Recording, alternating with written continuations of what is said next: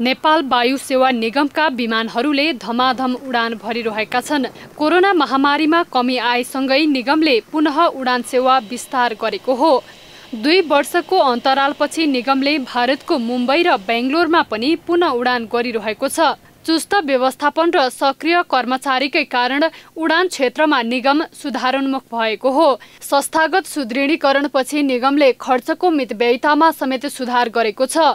इतिहासमै पहिलो पटक डिजी प्रमाणपत्र प्राप्त गरेपछि निगमको आय आर्जनमा समेत सुधार भएको छ। यो कुरालाई अगाडि बढाउनलाई विशेष गरी पर्यटन मन्त्रीज्यूको विशेष भूमिका रह्यो उहाँको विशेष निर्देशन दिइराख्नुभयो। क्यान र निगम बिचको समन्वयकारी भूमिकामा मन्त्रीज्यूले विशेष रूपमा योगदान दिनुभयो र त्यसको फलस्वरूप हाम्रो सक्रियतामा यो काम सम्पन्न भएको छ। साउदी अरेबियाको जनरल अथोरिटी अफ सिभिल एभिएसनबाट अनुमति पाएसँगै निगमले गत अप्रिल बाइसमा साउदी अरबको रियादमा हप्तामा तीनवटा नियमित उडान गर्न थालेको छ। अन्तर्राष्ट्रिय उडानका लागि निगमसँग दुईवटा न्यारो बडी र दुईवटा वाइड बडी जहाज छन्। नेपाल वायु सेवा निगमले अहिले Dubai Doha Delhi Japan Hong Kong भारतको मुम्बई थाइल्यान्डको ब्याङ्कक साउदीको रियादमा समेत उडान गरिरहेको छ। अहिलेको व्यवस्थापनको विशेष सक्रियता र क्यानको विशेष सहयोगमा यो कुरा सम्भव भएको हो र मेरा निगमका कर्मचारीहरू योग्य छन्। अन्तर्राष्ट्रिय मापदण्ड मुताबिक काम गर्न सक्छन् भन्ने कुराको प्रमाण पनि हो यो।